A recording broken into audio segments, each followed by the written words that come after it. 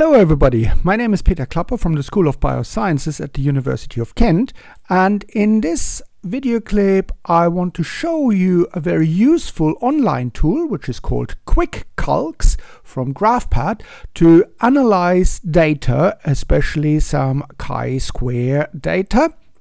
So uh, here is the link to uh, this uh, very useful tool and um, let's uh, just simply use an example for that. Now, uh, let's say we have done a little survey and we had 100 randomly picked people. We asked them about their pet preferences. 60 of these people were male, 40 were female. And these are basically the answers. So females uh, who preferred cats, 18, uh, females who preferred dogs, 21. Only one of them uh, wanted a snake. Male who preferred cats, 20. Male who preferred dogs, 25. And obviously, snakes are more popular with uh, the uh, male population uh, because uh, 15 of them chose um, snakes.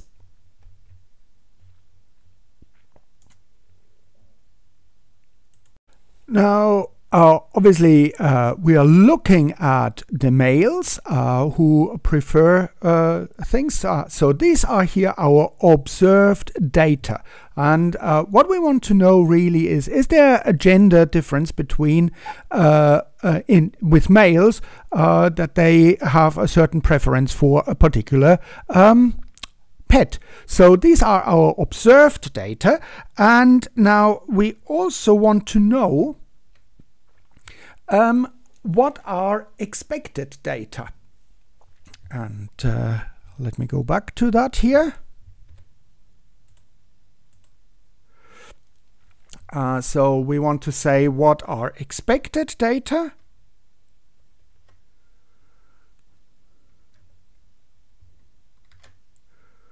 And expected. Now, we have a total of 60 males here. So 60 males and we have three categories. So if we uh, if we assume that each category is picked at random, we would expect uh, for each category 60 divided by 3, we would expect 20 votes for cats, 20 votes for dogs and 20 votes for snakes. So these would be our expected numbers if there was a, just simply a random distribution.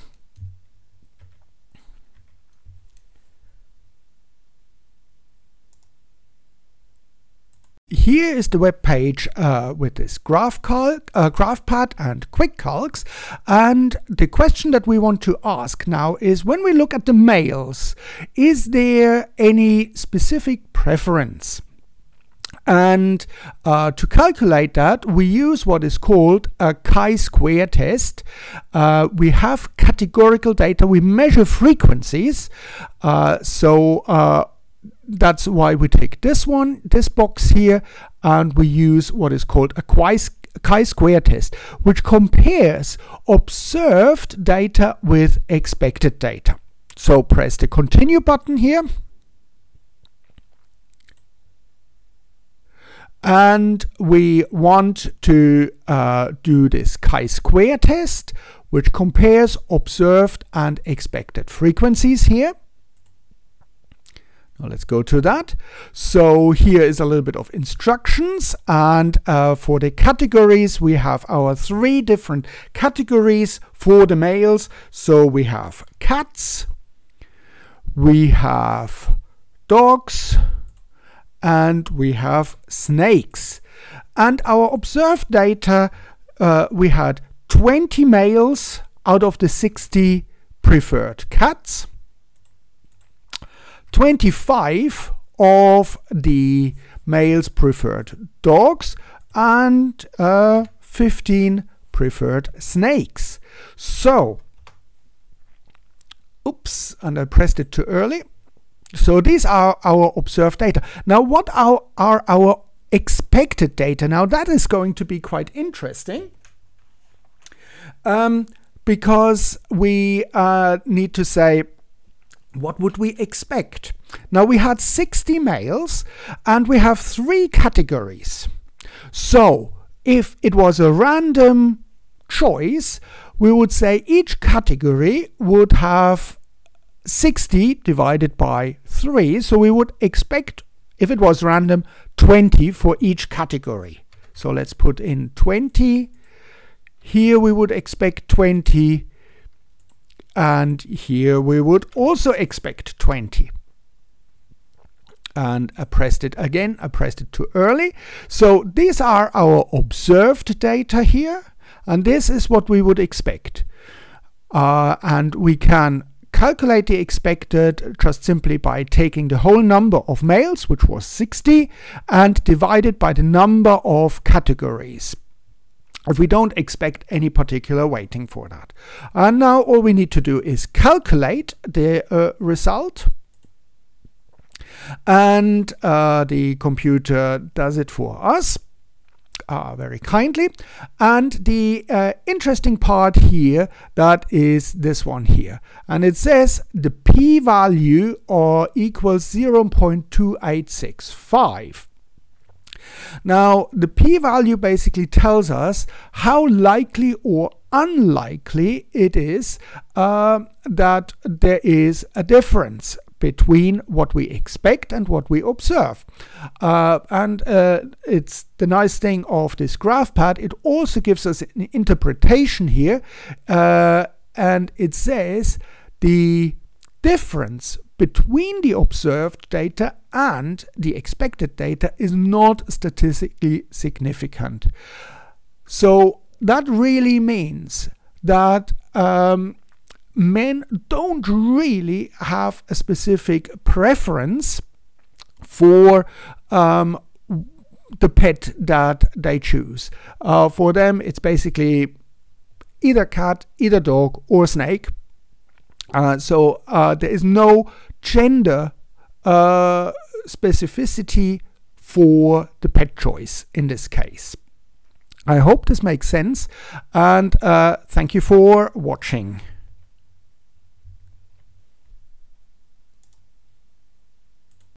Okay, so for males there is no uh, there is no preference in pet. But what about for females? So here again we have our observed data and let's quickly calculate what we would expect. Now we know that we have that we have 40 females and this is uh, doing some silly things.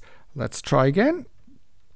We have 40 females, a total of 40 females.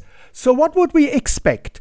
We would expect if these 40 females randomly chose their pet, uh, for each category, for each pet category, we would expect 40 divided by 3 votes. And 40 divided by 3, that is 13.3 should vote for cats, 13.3 would vote for dogs, and 13.3 would vote for snakes. So these are our expected numbers here. These are the observed numbers. Now let's see with our tool whether um, this uh, is what we would uh, get, whether there is any uh, pet preference uh, in uh, females.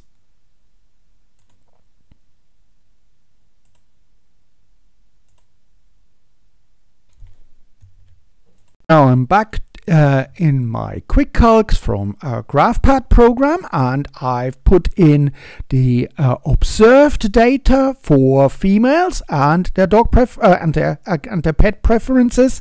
So we have 18 cat lovers, 21 dog lovers and only one likes snakes, but we would expect, as we just calculated, for the uh, for a random distribution, we would expect 13.3, 13.3. And here I, I, I, cheated a little bit. I put in 13.4 because uh, it all has to add add up to actually 40 and even small rounding the program doesn't like particularly but there's not a huge difference between 13.333 um, uh, and uh, 13.4 so let's press the calculate now button and see what happens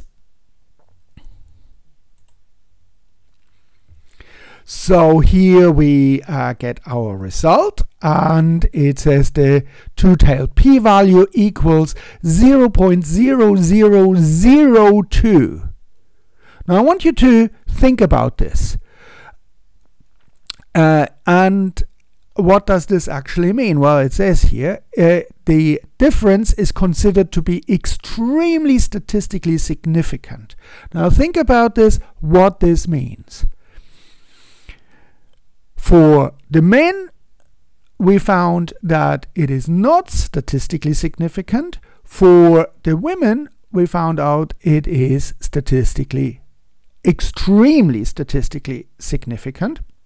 So what does this result tell us? Well, and if you said that very clearly women have a pet preference, they certainly, it looks like as if they prefer cats and dogs over snakes, whereas men don't show this preference, then you answered absolutely correct. I hope this makes sense and uh, you have seen how to use this QuickCalcs from GraphPad, uh, this software, to uh, analyze some data.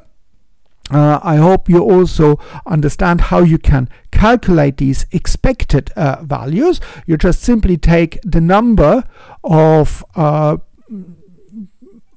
answers or, or, replies to a survey and divide it by the category if there is no sort of weighting involved. And we will discuss that in a different um, video, what happens if there is a weighting in involved. So thank you very much for watching and uh, hopefully see you soon.